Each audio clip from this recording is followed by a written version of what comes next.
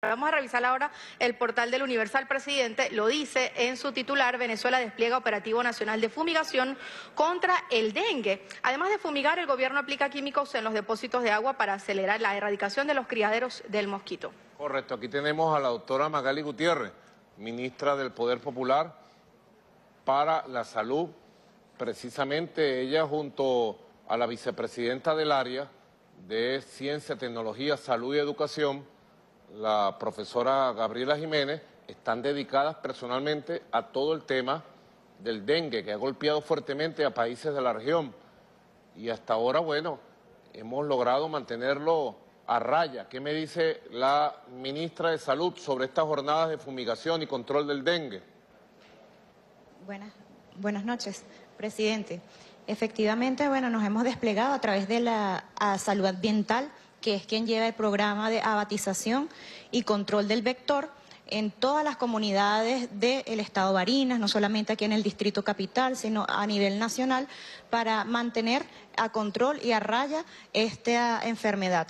No solamente va por el tema de la abatización o el control y el cerco epidemiológico de nuestros enfermos, sino también va para la eliminación de los criaderos, eh, la eliminación, el tratamiento de nuestras aguas, y por supuesto evitar aguas emposadas que, que prolifere el vector y que se haga fuerte.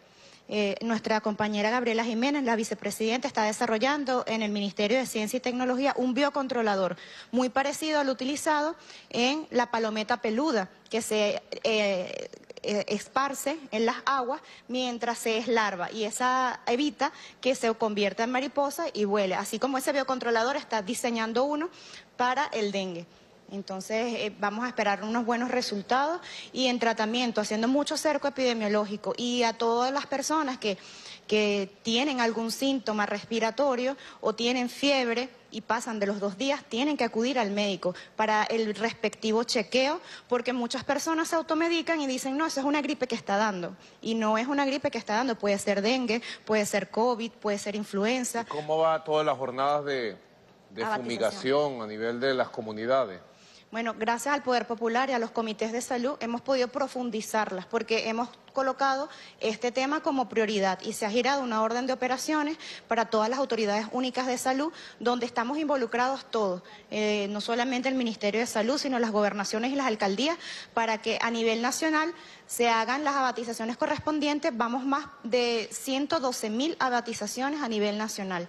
Y aquí en, Caracas vamos por las 5.600 y semanalmente, porque eh, gracias a las gestiones, presidente, suyas, tenemos con qué fumigar, el producto que se utiliza para la fumigación.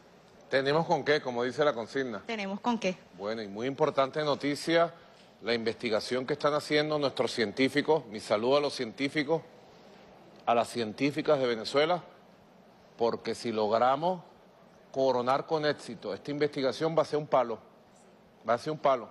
¿Ah? Como diría un amigo mío de Carabobo, esto va a ser un palo, pues, contra la pared. María Antonieta.